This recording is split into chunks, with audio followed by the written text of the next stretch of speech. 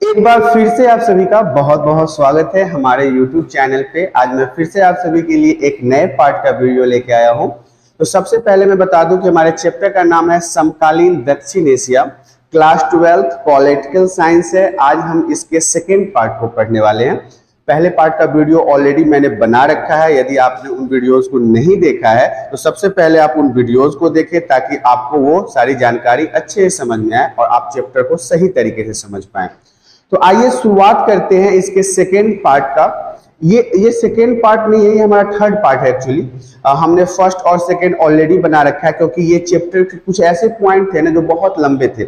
हम जब देश के बारे में बात कर रहे थे, पाकिस्तान के बारे में, बांग्लादेश के बारे में, भूटान के बारे में, श्रीलंका के बारे में, म्यांमार के बारे में तो ये देश के साथ साथ हमने इसकी आर्थिक व्यवस्था, राजनीतिक व्यवस्था और इनके साथ हमारे भारत जो देश है, उसकी मैत्रिता है या शत्रुता है, यहाँ पे लोकतंत्र हुआ, कब तक राजतंत्र हुआ, किस तरह की क्रांति हुई और किस तरह की परेशानियों से ये जूझ रहे हैं तो इन सभी चीज़ों को बताने में ना थोड़ा सा वीडियो लंबा हो गया था तो सेकेंड पार्ट तो बन चुका है, ये हमारा थर्ड पार्ट है वीडियो का।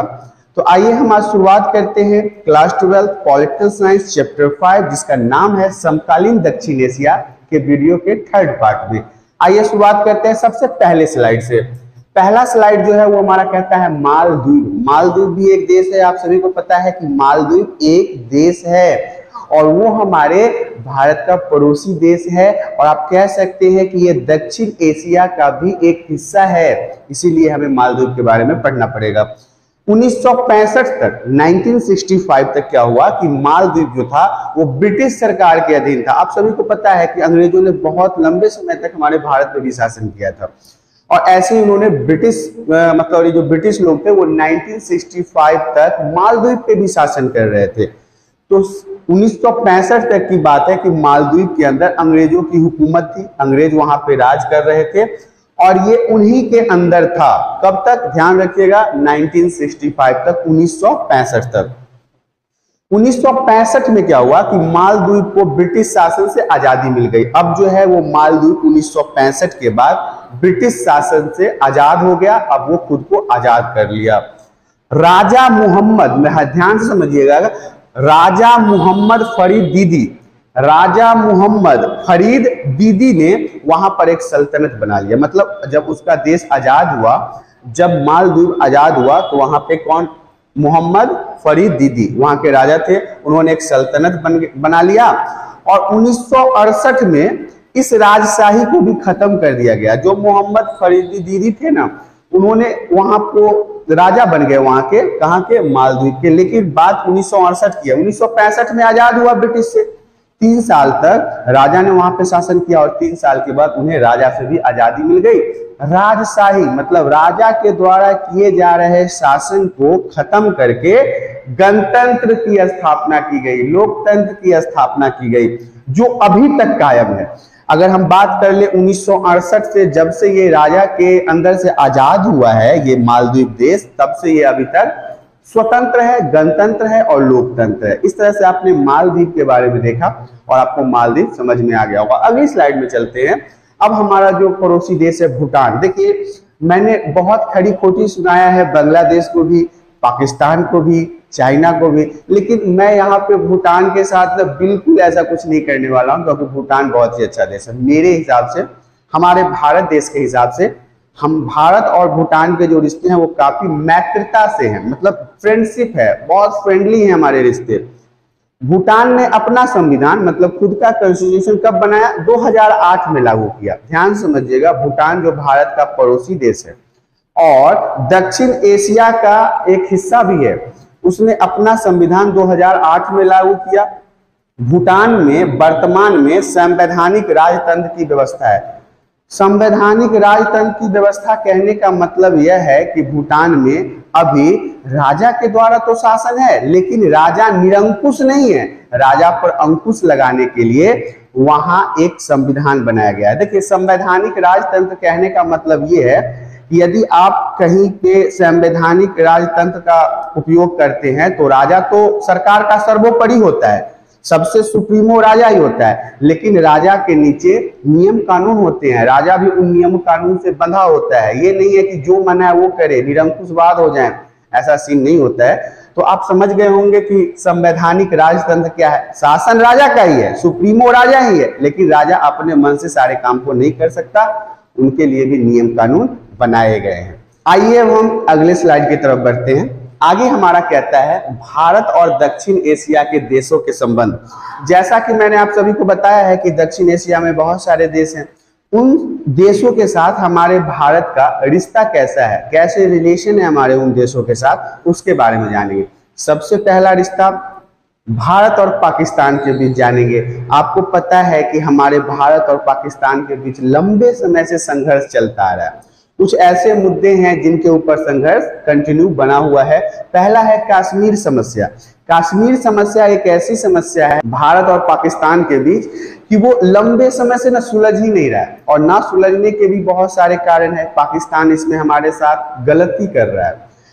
शुरुआत से ही कश्मीर हमारा था, भारत का हिस्सा था, लेकिन युद्ध के बाद क्या हुआ? कश्मीर का आधा हिस्सा पाकिस्तान ने कब्जा कर लिया और आधा हिस्सा हमारे पास रह गया, जिसे हम जम्मू कश्मीर के नाम से जानते हैं। विभाजन के तुरंत बाद क्या हुआ था? जब हमारा देश विभाजित हुआ था तो पाकिस्तान और भारत के बीच कश्मीर को लेकर लड़ाई शुरू हो गई, युद्ध शुरू हो गया। क्योंकि विभाजन के समय कश्मीर एक स्वतंत्र राज्य था। जब विभाजन हुआ, उस समय तक कश्मीर जो था, एक स्वतंत्र राज्य था और उसका आधिकारिक विलय भारत के साथ हुआ था। राज तो स्वतंत्र था, लेकिन उसके जो राजा थे उस समय, उनका, उन्होंने भारत के साथ पूरे कश्मीर को मिला लिया था, विलय कर लिया था। लेकिन पाकिस्तान जो है उस पर अपना नाजायज दावा ठोकता है। नाजायज वो खुद भी है और नाजायज उसका दावा भी है। इस समस्या को लेकर भारत और पाकिस्तान के बीच 1947 से 1948 और 1965 में युद्ध भी हो चुका है, लड़ाइयाँ भी हो चुकी है हमारे और पाकिस्तान के बीच। युद्ध के फलस्वरूप क्या हुआ? कश्मीर के दो हिस्से हो गए। कश्मीर दो हिस्सों में टूट गया एक हिस्सा पाकिस्तान अधिकृत कश्मीर कहलाया, जबकि दूसरा हिस्सा जो है वो भारत का जम्मू कश्मीर प्रांत बन गया। जब युद्ध हुआ तो युद्ध के उपरांत कश्मीर जो है वो दो अलग अलग भागों में टूट गया। एक हिस्सा पाकिस्तान के साइड चला गया और एक हिस्सा हमारे भारत के साइड आ गया। आज भी ये जो समस्या है ना, वो जस की तस बनी हुई है। आज भी हम लड़ाई करते हैं और ये समस्या बनी हुई है। लेकिन अभी के समय में क्या हो गया है? ये जो कश्मीर पाकिस्तान के तरफ़ से जो पाकिस्तान अधिकृत कश्मीर है, वो आतंकवादियों का एक सैन्य ठिकाना कहिए कि आतंकवादी के जितने भी सैनिक हैं, वो वहाँ पे अपना ठिकाना बना चुके हैं। दूसरा है बांग्लादेश समस्या। देखिए 1971 में बांग्लादेश की आंतरिक समस्या जब आई थी, हमने पिछले टॉपिक वीडियो के टॉपिक में ये डिस्कशन किया था जिसको लेकर बांग्लादेश के नेताओं ने भारत से मदद मांगी थी और बोला था कि भारत इसमें अपना सैन्य शक्ति देके हमें मदद करे।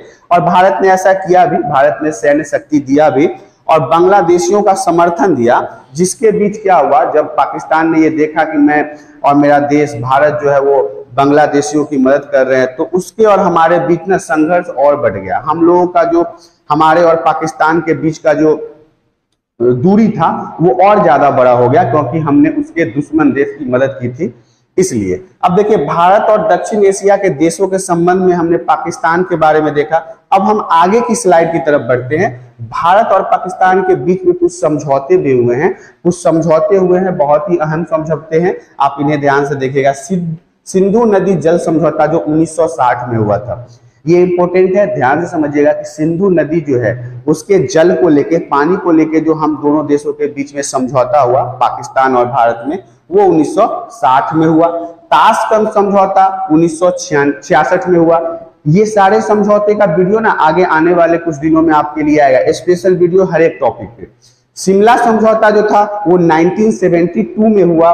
लाहौर बस यात्रा जो समझौता था वो 1999 में हुआ। और इसके अलावा और भी बहुत सारे समझौते हैं जो हमारे और पाकिस्तान के बीच में हुए हैं। लेकिन हमारे चैप्टर और सिलेबस के हिसाब से ये जो चार समझौते हैं वो बहुत महत्वपूर्ण है। आप इन चारों समझौते को बिल्कुल ध्यान से समझिएगा। सिंधु नदी जल समझौता 1960, ताशकंद समझौता उन्नीस सौ छियासठ शिमला समझौता उन्नीस सौ बहत्तर और लाहौर बस यात्रा 1999 में हुआ था, ये सारे समझौते। आगे की स्लाइड में बढ़ते हैं। आगे का स्लाइड जो है वो कहता है, भारत और बांग्लादेश के बीच संबंध। हमने पाकिस्तान के साथ तो अपने संबंध को आपको बता दिया। अब बांग्लादेश के साथ कैसा संबंध है? सहमति में, जहाँ पे हमारा और बांग्लादेश दोनों राज़ी हैं इस काम को करने के लिए, सहमति उसे ही कहते हैं। तो सहमति में क्या हुआ है कि पिछले दस वर्षों में हमारे जो संबंध हैं बांग्लादेश के साथ, वो ज़्यादा मज़बूत हुए हैं, पहले की अपेक्षा। पहले इतने प्रगाढ़ संबंध नहीं थे, लेकिन पिछले दस वर्षों में हमारा और बांग्लादेश का रिश्ता जो है, वो काफ़ी मज़बूत हुआ है। बांग्लादेश भारत की पूरब की ओर चलो की नीति का हिस्सा है। भारत जो पूरब की ओर चलो नीति है, उसका हिस्सा है कौन? बांग्लादेश। बांग्लादेश भी भारत को सपोर्ट करता है पूरब की ओर चलो नीति भी आपदा प्रबंधन और पर्यावरण के मामले में दोनों देश सहयोग कर रहे हैं। हमारा पड़ोसी देश है बांग्लादेश। इस कारण से आपदा प्रबंधन और जो पर्यावरण से जुड़ी समस्या है, इस पे हम दोनों देश मिलकर काम कर रहे हैं और दोनों देश एक दूसरे को सहयोग भी दे रहे हैं। आपसी व्यापार भी बढ़ रहा है। हमारा जो बिज़नेस है, वो बांग्लादेश में चल रहा है। बहुत सारे बिज़नेस हमारे बांग्लादेश में चल रहे हैं। बहुत सारे इंडियंस बांग्लादेश में भी हैं और बहुत सारे बांग्लादेश हमारे भारत में भी हैं और उनका भी बिज़नेस हमारे यहाँ चल रहा है। तो ये भारत और बांग्लादेश के बीच जो संबंध है, वो सहमति के ऊपर है मतलब अच्छे कामों के ऊपर है। अब हम आगे की स्लाइड में देखते हैं। नकारात्मक विवाद क्या है हमारा बांग्लादेश के साथ, जिसमें हमारी और उनकी सहमति नहीं बनती है, जिस कारण से हम एक दूसरे से लड़ रहे हैं। गंगा और ब्रह्मपुत्र नदी के जल में हिस्सेदारी को लेकर मतभेद है। मैंने ये बातें पहले भी की थी ना अभी पिछले पार्ट में। कि गंगा और ब्रह्मपुत्र की नदी जो है, इसके पानी को लेकर हमारे और बांग्लादेश के बीच बहुत ज़्यादा झड़प होती रहती है। भारत में अवैध प्रवास जिसका बांग्लादेश खंडन करता है, ये बांग्लादेशी जो है ना, ये अवैध तरीके से हमारे भारत में आके बस जाते हैं। अब मैं क्या बताऊँ कि बहुत सारे ऐसे बांग्लादेशी हैं जो हमारे भारत में आके रहते हैं। यहाँ का Aadhaar card, PAN card, ration card सब बनवा लिया है यहाँ के नागरिकता ले ली है अवैध तरीके से। जहाँ मन होता है सरकारी ज़मीन देख के झुग्गी डुग्गी लगा देते हैं और इनकी संख्या इतनी ज़्यादा होती है कि अभी आपने दिल्ली में बहुत सारे कांड देखे होंगे, ये बांग्लादेशियों को हटाने के लिए बुलडोजर उलडोजर चल गया। तो ये सब वही लोग हैं जो बांग्लादेश से अवैध तरीके से आके हमारे भारत में रहते हैं, लेकिन बांग्लादेश इस बात को मानने के लिए तैयार नहीं है। इस बात पे हमारे और उसके बीच में नाराज़गी भी है। भारत विरोधी कट्टरपंथ आतंकवाद को बांग्लादेश की ज़मीन से फैलना। देखिए, भारत के खिलाफ जो आतंकवादी संगठन बनाए जाते हैं, वो भी बांग्लादेश में सक्रिय हैं। बांग्लादेश में भी बहुत सारे ऐसे कट्टरपंथी हैं जो रहते हैं। इससे भारत नाराज़ रहता है बांग्लादेश से कि आप ऐसे नागरिकों और संगठन को क्यों बढ़ावा देते हो? इस पे भी हमारे और उसके बीच नाराज़गी है। सेना को पूर्वोत्तर की तरफ़ जाने के लिए रास्ता नहीं देना। पूर्वोत्तर हिस्से में भारत के सेना को जाने के लिए बांग्लादेश रास्ता नहीं दे रहा है। क्योंकि बांग्लादेश बीच में आता है और उस तरफ़ हमारा पूर्वोत्तर हिस्सा पड़ता है और वो जाने के लिए रास्ता नहीं दे रहा। है इस पर भी भारत के साथ उसका विवाद है। म्यांमार को बांग्लादेश इलाके से होकर भारत की प्राकृतिक गैस निर्यात न करे। हमारे जो गैस की सुविधा है, प्राकृतिक गैस का वो म्यांमार तक नहीं जाने देता है। वो मना करता है कि हम अपने रास्ते से नहीं जाने देंगे, निर्यात नहीं करने देंगे, नहीं जाने देंगे। अब आपको पता है कि तुम मेरे पड़ोसी देश हो। अगर तुम हमारे साथ मैत्रता की भावना रखते हो तो हमें व्यापार करने में मदद करोगे ना। लेकिन वो इसमें मदद नहीं कर रहा है। कहीं ना कहीं तो नीति बदल नहीं सकती ना। कहीं ना कहीं तो ये पाकिस्तान से ही टूट के आया है ना। तो कहीं ना कहीं तो ये भारत का विरोधी होगा ही। तो इसी कारण से जो ये नकारात्मक विवाद है, वो हमारे और बांग्लादेश के बीच में चलता रहता है। आगे की स्लाइड में हम देखते हैं, पूरब की ओर चलो नीति। बहुत लंबे समय से हम इसे पढ़ते आ रहे हैं कि पूरब की ओर चलो नीति। पूरब की ओर चलो नीति क्या है? पूरब की ओर चलो नीति। पूरब चलो नीति भारत सरकार की वह नीति है, जिसके द्वारा वह दक्षिण पूर्व एशियाई देशों से अपने संबंध और आर्थिक संबंध अच्छा बनाना चाहता है। एक लाइन में बहुत ही अच्छा जवाब। भारत की तरफ़ से जो पूरब की ओर चलो नीति है, उसमें वो क्या करना चाहता है? वो चाहता है कि दक्षिण पूर्व एशियाई में जो देश हैं, जितने भी देश दक्षिण पूर्व एशियाई में आते हैं, उनके साथ अपने आर्थिक मतलब इकोनॉमिकल सिस्टम मज़बूत करे, राजनीतिक सिस्टम मज़बूत करे। इसी नीति के अंतर्गत बांग्लादेश, म्यांमार, इंडोनेशिया, सिंगापुर और मलेशिया से संपर्क साधने की बात हो रही है। ये कुछ देश हैं जो आपको पूर्व एशियाई, दक्षिण पूर्व एशियाई में आते हैं। कौन है? बांग्लादेश, म्यांमार, इंडोनेशिया, सिंगापुर और मलेशिया। इनसे हम अपने व्यापारिक संबंध, बिज़नेस वाले संबंध बनाने की कोशिश कर रहे हैं। इस बात के भी प्रयास किए जा रहे हैं कि साझी खतरों को पहचान कर हम एक दूसरे की जरूरतों में मदद करेंगे। अगर हमें आपस में किसी भी प्रकार की परेशानी आती है किसी भी प्रकार की दिक्कत आती है तो हम एक दूसरे की मदद करेंगे, एक दूसरे के यहाँ व्यापार करेंगे ताकि हम सभी, हम जितने भी यहाँ पे लोग हैं ना, इनके इकोनॉमिकल सिस्टम जो है वो मज़बूत हो जाए। ये था हमारा पूरब की ओर चलो नीति। पूरब की ओर चलो नीति के बाद हम आगे बढ़ते हैं। आगे की स्लाइड में हमारा कहता है, भारत और नेपाल का संबंध कैसा है? जैसे पाकिस्तान, भूटान, बांग्लादेश, ये सब हमारे पड़ोसी देश हैं, वैसे ही हमारा देश, पड़ोसी जो है वो नेपाल भी है। नेपाल के साथ हमारे संबंध हमेशा से मधुर रहे हैं, बहुत ही अच्छे संबंध है। दोनों देशों के बीच एक संधि भी हुई थी, जिस संधि में दोनों देश के नागरिक जो हैं, वो एक देश से दूसरे देश में बिना पासपोर्ट, वीज़ा के आ जा सकते हैं। ये हमारे भारत देश और नेपाल के बीच में एक संधि हो रखी है। इसमें क्या होता है कि वीज़ा की आवश्यकता नहीं होती और हम वहाँ आ जा सकते हैं और वहाँ के लोग हमारे यहाँ के काम कर सकते हैं, हमारे लोग वहाँ जाके काम कर सकते हैं। अब देखो, ऐसा है कि इन संबंधों के बाद भी कुछ मन मुटाव हम लोगों के बीच में पैदा हुआ है। किसके बीच? नेपाल और भारत के बीच। नेपाल क्या ना, चीन के साथ ज़्यादा ही लगाव रहता है, क्योंकि हमारा पड़ोसी देश है नेपाल और हमारा पड़ोसी देश चीन भी है। नेपाल का भी पड़ोसी देश चीन है। तो वहाँ पे व्यापार जो है ना, वो नेपाल के साथ होता रहता है। नेपाल में बहुत ज़्यादा चीनी सामान का ना बिक्री होता है। चीनी के साथ इनके जो दोस्ती है, उससे भारत सरकार जो है, वो अक्सर खफा रहता है। इसलिए हमारा और नेपाल के बीच में भी मनमुटाव रहता है। अगर हमारे दुश्मन से कोई दोस्ती कर ले तो हमारे लिए तो वो दुश्मन ही हो जाएगा ना। तो ऐसा ही कुछ हमारा भी नेपाल के साथ चल रहा है। इसके बावजूद भी नेपाल और भारत के संबंध एकदम मज़बूत हैं। बहुत ही अच्छे संबंध है। शांतिपूर्ण है। विभेदों के बावजूद भी हम एक दूसरे को व्यापार में वैज्ञानिक सहयोग, प्राकृतिक संसाधन, बिजली उत्पादन और जल प्रबंधन जैसे मुद्दों पे एक दूसरे को मदद करते हैं। ये इंपॉर्टेंट है। ध्यान समझिएगा। हमारा और नेपाल के साथ जो संबंध है, वो क्या है? व्यापार में बिज़नेस भी करते हैं, वैज्ञानिक सहयोग करते हैं, साझे प्राकृतिक संसाधन पर भी हम बात कर रहे हैं, बिजली उत्पादन और जल प्रबंधन पर हम एक दूसरे की मदद कर रहे हैं। और आपको बता दूँ कि नेपाल जो है, एक लोकतंत्र देश है अभी, और दोनों देशों के बीच संबंध जो है, वो बहुत ही अभी अच्छा चल रहा है, बहुत ही मज़बूत चल रहा है। आइए अब हम आगे की स्लाइड में बढ़ते हैं। आगे का स्लाइड है भारत और भूटान के बीच संबंध। मैंने भूटान के बारे में थोड़ा सा इंट्रोडक्शन आपको पहले ही दे दिया था। लेकिन अब हमारा और भूटान का जो रिलेशन है, जो संबंध है, इसे भी जानना ज़रूरी है। भारत के भूटान के साथ भी बहुत अच्छे रिश्ते हैं और भूटानी सरकार के साथ कोई बड़ा झगड़ा भी नहीं है हमारा। हमारा रिलेशन जो भूटान के साथ है, वो बहुत ही अच्छा है और हमारा कोई भी झगड़ा भूटान के साथ होता भी नहीं है। क्योंकि हमने कभी भूटान ने कभी उंगली हमें नहीं किया, हमने कभी भूटान को उंगली नहीं किया। तो इसलिए दोनों देश जो है बहुत ही अच्छे मित्र हैं और शांति और भूटान जो है, वो भारत का मददगार देश है और हम भी भूटान की बहुत ज़्यादा आर्थिक मदद करते हैं। देखिए, भूटान ने अपने काम का संचला, संचालन कर रहे पूर्वोत्तर भारत के उग्रवादियों और गुल्लों को भूटान ने अपने क्षेत्र से खदेड़ भगाया। जो भारत विरोधी लोग थे यही होता है दोस्ती, यही होता है मित्रता, यही होता है पड़ोसी होने का दायित्व और यही होता है अच्छे लोगों की पहचान। एक देश पाकिस्तान भी है, दोगला।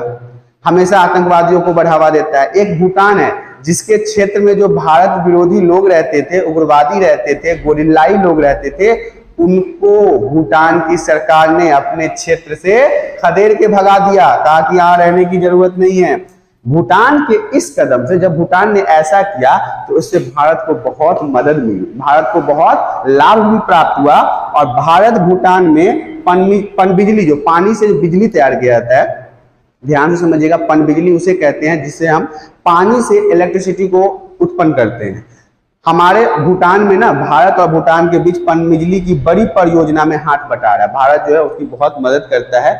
इस हिमालयी देश के विकास कार्यों के लिए सबसे ज़्यादा अनुदान भारत का ही होता है। ये जो भूटान है, इसके विकास करने के लिए जो सबसे ज़्यादा पैसा देता है, वो हमारा भारत ही देता है। तभी तो ये हमारा कर्जदार है और हमारी इतनी मदद करता है, क्योंकि भारत हमेशा से भूटान की मदद करता आया है। तो इस तरह से देखा कि भारत और भूटान के जो संबंध है, वो बहुत ही अच्छे हैं, बहुत ही प्यारे हैं और हमारे बीच में कोई खास लड़ाइयाँ भी नहीं है और हम एक दूसरे का सहयोग भी कर रहे हैं। यही आतंकवादी संगठन पाकिस्तान में भी है, बांग्लादेश में भी है, चाइना में भी है और कुछ नेपाल में भी है। लेकिन ये लोग किसी भी प्रकार का कदम नहीं उठाते हैं। लेकिन भूटान को देखिए कि भूटान ने अपने एरिया में भारत विरोधी लोग जो थे, जो गोरिल्लाई थे, जो वहाँ के उग्रवादी थे, उनको उन्होंने मार भगाया और कहा कि यहाँ पे रहने की ज़रूरत नहीं है। नेक्स्ट टॉपिक की तरफ़ बढ़ते हैं। दक्षेश क्या है देखिए S A A R C South Asian Association for Regional Cooperation full form है इसका, ध्यान से समझिएगा। हिंदी में इसे कहते हैं दक्षिण एशियाई क्षेत्रीय सहयोग संगठन। कब इसकी स्थापना हुई? 1985 में हुई। बिल्कुल ध्यान से समझ लीजिए रट लीजिए, याद कर लीजिए, जैसे भी हो, आपको ये चीज़ें आनी चाहिए। एस ए ए आर सी जिसे हिंदी में दक्षेश कहते हैं फुल फॉर्म है। South Asian Association for Regional Cooperation दक्षिण एशियाई क्षेत्रीय सहयोग संगठन। दक्षिण एशिया के अंतर्गत जो देश आते हैं, उनके सहयोग करने के लिए जो संगठन का निर्माण किया गया है, उसे हम एस ए ए आर सी कहते हैं। स्थापना कब हुई? कब इसका निर्माण हुआ? 1985 में हुआ 1985 में इसका निर्माण हुआ। मुख्यालय कहाँ है भाई? ऑफ़िस कहाँ है इसका? हेडक्वार्टर कहाँ है? नेपाल में है, काठमांडू में है। ध्यान से समझिएगा, नेपाल, काठमांडू में इसका हेड ऑफ़िस है। सदस्य कौन है? इसके अंदर जो, इस संगठन के अंदर सदस्य देश कौन कौन है? सदस्य है भारत, हमारा देश भारत, पाकिस्तान बांग्लादेश, नेपाल, भूटान, श्रीलंका, मालदीव और अफ़गानिस्तान। अब देखिए, अफ़गानिस्तान जो है वो 2007 में शामिल हुआ था। 2007 में अफ़गानिस्तान भी दक्षेश में शामिल हो गया, जिसका फुल फॉर्म है South Asian Association for Regional Cooperation, Hindi में कहते हैं दक्षिण एशियाई क्षेत्रीय सहयोग संगठन। 1985 में इसका स्थापना हुआ और ये सारे देश जो हैं, वो इसके संगठन के सदस्य देश हैं। दक्षिण एशियाई देशों ने आपस में सहयोग के लिए सन, दक्षिण एशिया के जो देश थे, जो संगठन के देश थे, उन्होंने अपने सहयोग के लिए, मदद के लिए 1985 में दक्षिण South Asia Association for Regional Cooperation की स्थापना की। आपस के ये जो देश थे ना, इन्होंने कहा कि हम लोग आपस में मिलकर ना अर्थव्यवस्था को मज़बूत करेंगे, राजनीतिक गतिविधियों को मज़बूत करेंगे, अपने व्यापार को बढ़ावा देंगे, अपने संस्कृति को बढ़ावा देंगे, इसलिए इन्होंने दक्षेश की स्थापना की। उन्नीस में इंपोर्टेंट है। ध्यान से समझिएगा इसे भी। नेक्स्ट टॉपिक की तरफ़ बढ़ते हैं। दक्षेश में 2005 में तेरहवे सार्क शिखर सम्मेलन ढाका में। समझिएगा ध्यान से। 2005 के तेरहवे सार्क शिखर सम्मेलन ढाका में अफ़गानिस्तान को सार्क में शामिल करने पर सहमति बनी। मैंने अभी अभी बताया कि 2007 में अफ़गानिस्तान को जोड़ा गया था। दक्षेश के साथ। लेकिन ये बातें कब लाई गई थी? 2005 में, जब शिखर सम्मेलन हो रहा था ढाका में। बांग्लादेश में, बांग्लादेश की राजधानी ढाका 2005 तेरहवा सम्मेलन। बिल्कुल ध्यान से समझना है। अफ़गानिस्तान को सार्क में जोड़ने की बात की गई। 2007 के चौदहवें, तेरहवे में बात की गई और चौदहवें शिखर सम्मेलन नई दिल्ली में हुआ था। चौदहवा शिखर सम्मेलन कहाँ हुआ? नई दिल्ली, भारत की राजधानी में हुआ था। अफ़गानिस्तान पहली बार सार शिखर सम्मेलन में शामिल हुआ। 2000 में बात, पाँच में बात की गई और 2007 में वो शामिल हो गया। वैश्वीकरण के दौर में हुए सात सम्मेलनों में जो जिस समय ये सम्मेलन हुआ, उस समय बातें क्या क्या हुई, मुद्दा क्या क्या था इनके पास? तो इनके पास था जलवायु परिवर्तन के बारे में बात करना, था आपदा प्रबंधन और आतंकवाद की समाप्ति। आतंकवाद की समाप्ति के लिए भी बात करना था। इसके ऊपर इन्होंने पूरा विचार किया और इनके बीच समझौतों पर हस्ताक्षर भी हुआ। इन सारे मुद्दों को लेकर आपदा प्रबंधन, जलवायु परिवर्तन, आतंकवाद, इन सभी गंभीर टॉपिक पे इन लोगों ने बात किया। 2007 में चौदहवें शिखर सम्मेलन जो दिल्ली में हुआ था, जो भारत की राजधानी है। सार्क का अठारवा शिखर सम्मेलन 26 से 27 नवंबर 2014 को नेपाल की राजधानी काठमांडू में संपन्न हुआ। तेरहवा हुआ, चौदहवा हुआ, अब यहाँ पे हम अठारहवें की बात करेंगे, जो नेपाल में 2014 में संपन्न हुआ, जिसका विषय शांति एवं समृद्धि के लिए प्रतिबद्ध एकजुटता थी। जो नेपाल में साग सम्मेलन हुआ, उसमें इन्होंने अपने सभी संगठन के देशों से शांति विचारधारा को अपनाने का अगर हम उग्र नहीं होंगे, हम लड़ाइयाँ नहीं करेंगे, हम किसी के साथ युद्ध नहीं करेंगे, हम अपने देश की आर्थिक व्यवस्था को मज़बूत करने का काम करेंगे, व्यापार बढ़ाएँगे एक दूसरे में, सांस्कृतिक पद्धतियों को बढ़ाएँगे एक देश से दूसरे देश में। इस तरह से आपने देखा कि दक्षेश का अठारवा शिखर सम्मेलन जो नेपाल में हुआ था, उसमें किस किस तरह की बातें हुई थी। आगे की स्लाइड में बढ़ते हैं। दक्षेश का ये लास्ट पॉइंट है सार्क का 19वां शिखर सम्मेलन जो है, वो 2016 में इस्लामाबाद में हुआ। इस्लामाबाद, पाकिस्तान में हुआ। 2016 में 19वां शिखर सम्मेलन। परंतु, उसी समय आतंकवाद के कुछ दोगले आतंकवादियों ने हमला किया था उड़ी पे। उस कारण से भारत ने इस सम्मेलन का पूर्ण रूप से बहिष्कार किया। उसने बहिष्कार कर दिया क्योंकि ऐसे भी पाकिस्तान आपको पता है दोगला देश है, आतंकवादियों का जगह है वो, और यहाँ पे न गणतंत्र है, न स्वतंत्र है, न राजतंत्र है, सिर्फ़ सैन्य शक्ति और यहाँ पे जो सेना का मन होता है वही करता है। तो जिनका अपना कुछ न हो, उनके यहाँ क्या सम्मेलन होगा? तो इन्होंने 2016 के जो साग सम्मेलन था इस्लामाबाद में, उसमें भारत ने इसका विरोध कर दिया। और भारत के विरोध करने के बाद क्या हुआ? बांग्लादेश, भूटान, श्रीलंका मालदीप ने भी इस सम्मेलन का बहिष्कार कर दिया और इस तरह से ये सम्मेलन बेड़ा गर्क हो गया। जो लास्ट सम्मेलन था उन्नीसवा वो 2016 के इस्लामाबाद में हुआ था, जिसका सभी लोगों ने बहिष्कार कर दिया। क्यों? इसके समर्थन कौन करेगा?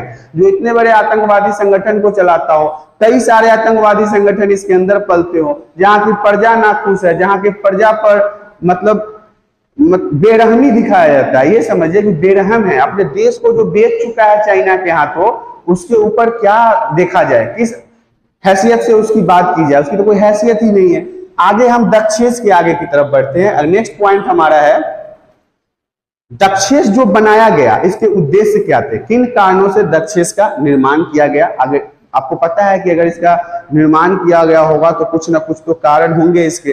तो दक्षिण एशिया के लोगों के जीवन स्तर में वृद्धि करना, दक्षिण एशिया के अंतर्गत जितने भी देश आते थे, उनके जीवन स्तर को ऊपर की ओर लेके जाना, दक्षिण एशिया में आर्थिक विकास करना इकोनॉमिकल सिस्टम मज़बूत करना, सामाजिक प्रगति एवं सांस्कृतिक उन्नति। समाज सुधार करना, संस्कृति को सुधार करना, ये सब दक्षिण के उद्देश्य थे। दक्षिण एशिया में सामूहिक आत्मविश्वास और आत्मनिर्भरता बनाना लोग को सेल्फ इंडिपेंडेंट बनाना, रोज़गार की तरफ़ लेके जाना, उनको कुशल कारीगर बनाना, कार्य को सिखाना, ये सब दक्षेश का उद्देश्य था आपस में शांति बनाए रखने और समाधान, शांति पर समाधान मतलब कोई देश एक दूसरे से लड़ेगा नहीं, झगड़ेगा नहीं, गोला बारूद नहीं करेगा, मारपीट नहीं करेगा, ये सब दक्षेश के उद्देश्य थे, जिस कारण से इसे बनाए गए थे। आगे की तरफ़ हम बढ़ते हैं। दक्षिण के उद्देश्य में है कि दक्षिण एशियाई देश युक्त व्यापार संबंधी बाधाओं को दूर करना। आपस में जितने भी व्यापार या बिज़नेस करने में परेशानी हो रही थी, उन्हें दूर करने के लिए दक्षेश का निर्माण किया गया था। सीमा शुल्कों को हटाना। एक देश से दूसरे देश में हम व्यापार करने जाते हैं ना तो बहुत ज़्यादा टैक्स देना पड़ता है। इस शुल्क को भी कम करना या बिल्कुल खत्म करना ताकि एक देश दूसरे देश में जाकर व्यापार कर सके और दोनों देशों की आर्थिक स्थिति से मज़बूत होगी। भारत ने अपने पड़ोसी देशों के साथ, जिनमें पाकिस्तान, नेपाल, बांग्लादेश एवं श्रीलंका प्रमुख है, इनमें से यदि पाकिस्तान को छोड़ दिया जाए तो बाकी राष्ट्रों के साथ भारत के संबंध बहुत अच्छे हैं। पाकिस्तान के साथ चाहिए भी नहीं और होगा भी नहीं कभी। जो कमीने होते हैं, उनके साथ दोस्ती ना रखने में ही फ़ायदा है। जो पीठ पीछे खंजर भोगते हैं, उनके साथ आप दोस्ती ना रखो तो आप ज़्यादा सुखी महसूस करोगे खुद को। तो जितने भी हमारे पड़ोसी देश हैं, देखिए, इसमें बात कर लेते हैं, नेपाल, बांग्लादेश, श्रीलंका, इन सभी के साथ जो है ना, वो हमारा रिश्ता जो है, वो काफ़ी अच्छा है, पाकिस्तान को छोड़ के। अब देखिए, हमने इतने सारे देशों के साथ अच्छे संबंध बना रखे हैं तो एक अकेला पाकिस्तान के ही साथ खराब संबंध क्यों है हमारा? तो आपको तो मैंने इसके बारे में इसकी सारी चाल चलन तो बता ही दिया ना, ये आदमी नहीं ठीक है, इसका देश ही ठीक नहीं है। तो इस तरह से आपने देखा कि दक्षिण के उद्देश्य क्या थे और हमारे भारत के साथ पाकिस्तान, बांग्लादेश, भूटान आदि देशों का रिश्ता कैसा है, नेपाल के साथ कैसा रिश्ता है। आगे की तरफ़ बढ़ते हैं, सार्क की उपलब्धियाँ। अब सार्क का निर्माण किया गया तो इसने किन किन उपलब्धियों को चुना है, किया है क्या क्या अच्छे काम किए हैं? भारत एवं पाकिस्तान के बीच तनावपूर्ण संबंधों के बावजूद भी दक्षिण द्विपक्षीय स्तर पर समझ और सहयोग को बढ़ावा देने के लिए छोटे देशों के लिए अभी भी यह उपयोगी संगठन है। हमारे और पाकिस्तान के बीच संबंध तो अच्छे नहीं है, लेकिन फिर भी सार्क जो है वो कई सारे छोटे देशों के साथ अच्छे कार्यों को कर रहा है, उनकी उन्नति कर रहा है, उनको आगे की तरफ़ लेके जा रहा है। साफ्टा को बनाकर व्यापार की दिशा में महत्वपूर्ण कदम उठाया। साफ्टा भी एक संगठन था, आपको इसके बारे में मैं आगे की स्लाइड में बताऊँगा। जब इसे बनाया गया तो इससे हमारा बिज़नेस, जो बिज़नेस सिस्टम था, जो व्यापार करने की पद्धति थी, इसमें बहुत हमें किफायत हुआ मतलब आज़ादी मिला, हमें फ़ायदा हुआ। पर्यावरण, आर्थिक विकास एवं ऊर्जा आदि क्षेत्रों में सहयोग की बात है। देखिए, अब एक यहाँ पे बहुत इंपॉर्टेंट टॉपिक आ गया है, BIMSTEC. Bay of Bengal initiative of a multi sectoral technical and economic cooperation ये क्या है? बंगाल की खाड़ी बहुक्षेत्रीय तकनीक और आर्थिक सहयोग है इसका हिंदी में नाम। ये याद रखिएगा, एक नंबर में पूछा जाता है, इसके अगर सदस्य देशों की बात करें तो इसमें बांग्लादेश, भारत, बर्मा, श्रीलंका, थाईलैंड, भूटान और नेपाल शामिल हैं। ये एक ग्रुप है। इस ग्रुप के ये सदस्य देश हैं जो सार्क की उपलब्धियाँ हैं, जो इन्होंने इसे जोड़ के बनाया है। आगे की स्लाइड में देखते हैं, साफ्टा क्या है? मैंने आपको बताया था कि साफ्टा के बारे में हम आगे की स्लाइड में बात करेंगे। South Asian free trade area. South Asian free trade area, दक्षिण एशियाई मुक्त व्यापार क्षेत्र। लागू कब हुआ ये? 2006 में लागू किया गया। जनवरी 2004 में आयोजित बारहवें शिखर सम्मेलन में सार्क देशों ने जब बारहवा 2004 में बारवा शिखर सम्मेलन हो रहा था, उसमें सार्क देशों ने ऐतिहासिक दक्षिण एशियाई मुक्त व्यापार सौदा साफ्टा के समझौते पर हस्ताक्षर किया, जो 1 जनवरी 2006 से प्रभावी हो गया।